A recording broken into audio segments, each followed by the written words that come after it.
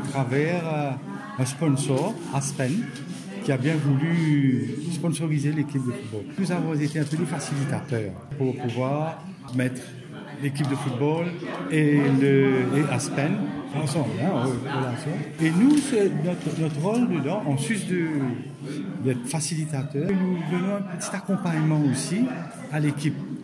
Donc, euh, au niveau de la structure de l'équipe, parce qu'il avait parlé de board, donc il y avait un moment dans leur comité, nous avions une personne qui agissait comme secrétaire, juste pour nous assurer que ça fonctionnait bien.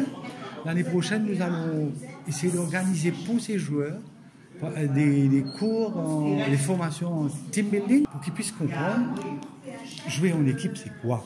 Au niveau de l'école de musique, encore une fois, nous avons des sponsors qui nous aident. Et dans ce cas de l'école de musique, c'est Moreva qui nous a donné. Et nous, nous, nous, accompagnons à travers le, président de la commission qui fait un suivi. Nous leur donnons aussi une structure.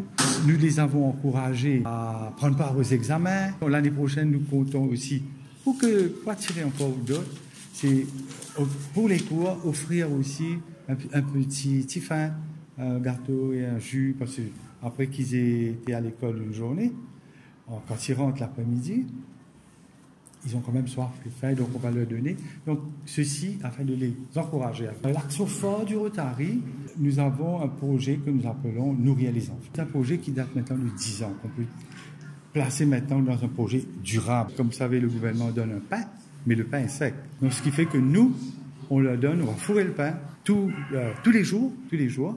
Donc, nous avons un prestataire qui vient, qui récupère le pain à la boulangerie, va fourrer le pain, et puis va faire la livraison dans les écoles. Nous avions vu que les enfants allaient à l'école le ventre vide. Et aujourd'hui, je crois que ça a changé. Nous avons pu voir un peu le résultat euh, il y a moins d'absentéisme à l'école et aussi il y a une amélioration un peu dans les résultats. Direct ou indirectement, je pense que ça a aidé les enfants. Nous avons un projet pour le mois de novembre, c'est de faire une journée de dépistage pour le diabète. De là, ce n'est pas un projet d'une année, mais c'est un projet une fois qu'on aura détecté les diabétiques potentiels, et là, nous allons organiser le suivi maintenant pour que ces gens maintenant puissent se soigner, puissent se faire suivre, être suivis à, à l'hôpital ou ailleurs.